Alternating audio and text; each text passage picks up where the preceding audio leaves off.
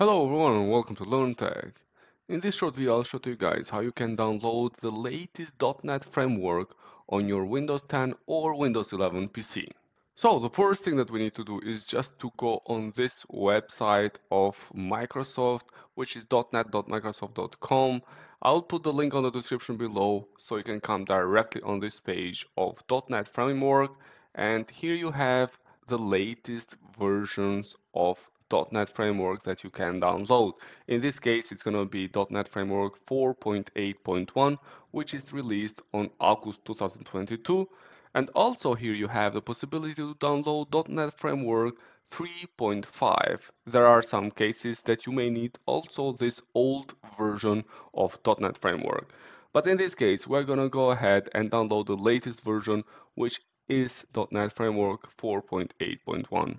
So we just select uh, this version and now it will redirect us on this page where we have two options. One of them is the runtime version. So do you want to run apps? The runtime includes everything you need to run existing application programs built in with .NET Framework or the developer pack, which you need to install it in case that you have to develop softwares by using .NET Framework. In our case, we just need the runtime .NET Framework version, so we just click here, download .NET Framework 4.8.1 runtime, and then we just have to select where we want to save the setup. I'm just gonna browse and save it on my documents, and we just click over save in order to save over there.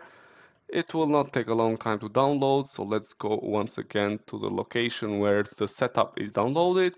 And in order to install this setup file, we just double click over it and then it will pop up this window where we have to accept that this application will make changes to our device. So we just press yes. And now it will start extracting the files. So in case that you have already installed the latest version of .NET Framework on your PC, then it will pop up this window which will say your installation will not occur. See the below reasons why.